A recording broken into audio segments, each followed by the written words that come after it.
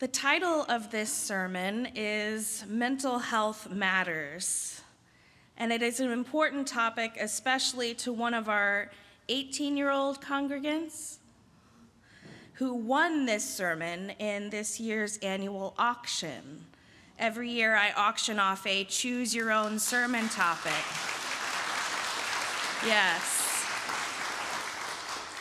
And it's a welcome challenge to my preaching chops, and also I get to know a congregant fairly well while we work together on the topic.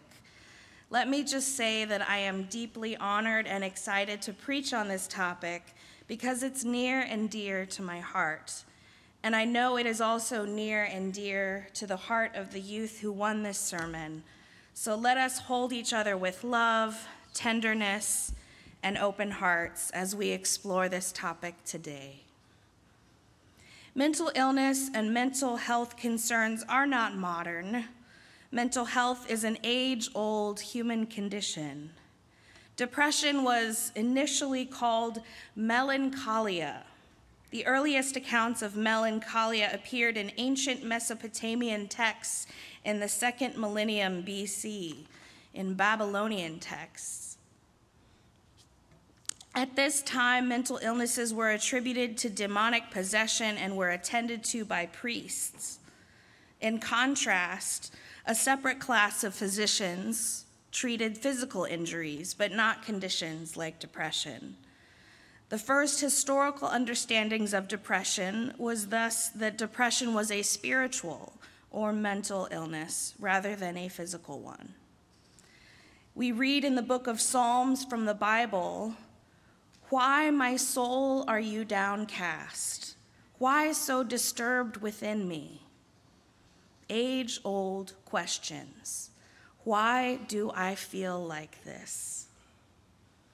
It was not until 1621 when Robert Burton published Anatomy of Melancholy, in which he described the psychological and social causes of depression, such as poverty, fear, and solitude. In his extensive work, he recommended diet, exercise, distraction, travel, purgatives, cleansers that purge the body of toxins, bloodletting, herbal remedies, marriage, and even music therapy as some treatments for depression. During the beginning of the Age of Enlightenment, the 18th and early 19th centuries, it was thought that depression was an inherited, unchangeable weakness of temperament, which led to the common thought that affected people should be shunned or locked up. As a result, most people with mental illnesses became homeless and poor, and some were committed to institutions. We still have institutions and residential treatment options, but we don't think of ourselves as condemning the mentally unwell to lives of isolation anymore. There's a rising awareness about mental health care and opportunities for support. But how welcoming are we as a congregation to people with mental health concerns? It's something to wonder about. The least we could do is not shun them, but welcome and include them, support and engage with them.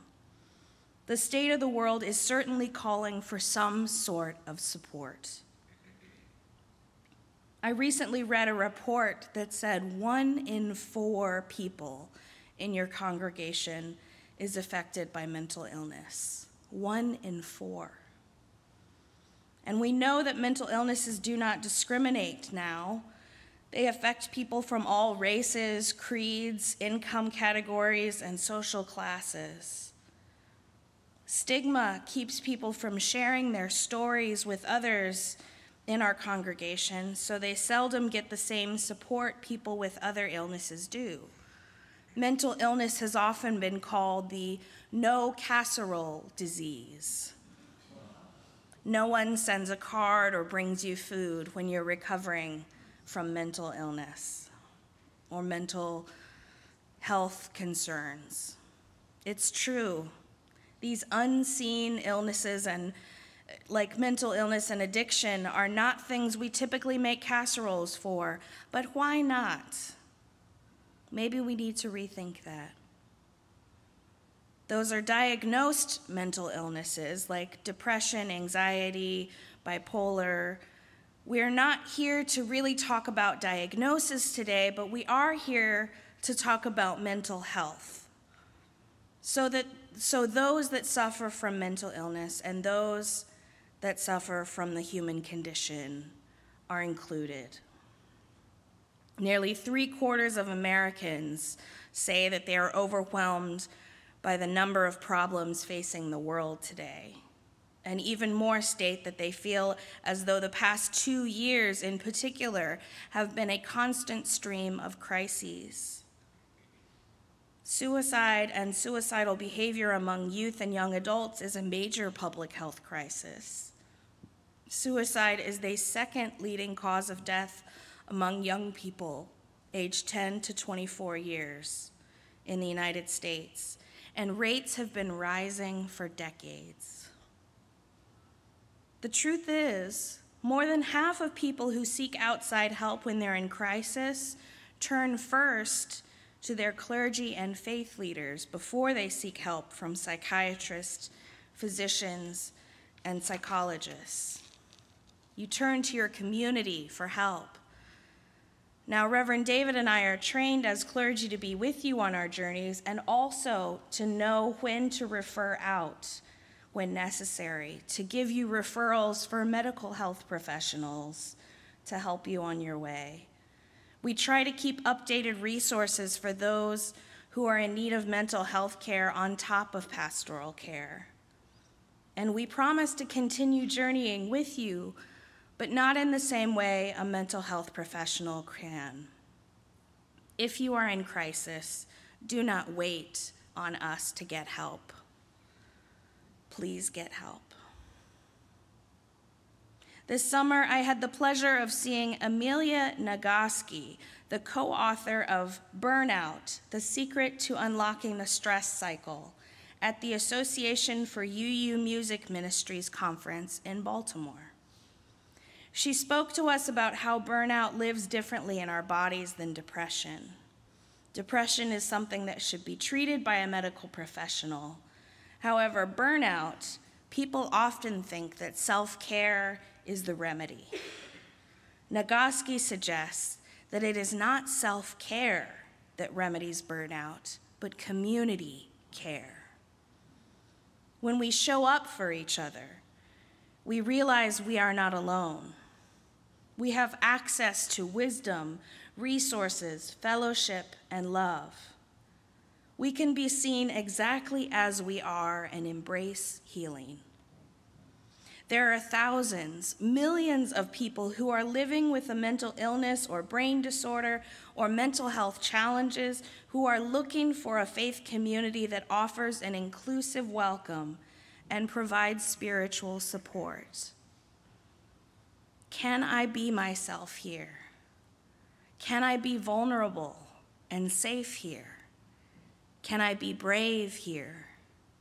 Will I be seen here? Will I be loved here? Will I belong here? Silence around issues of mental health increases stigma and limits capacity for personal relationships keeping people from learning about the resources and assistance available to them.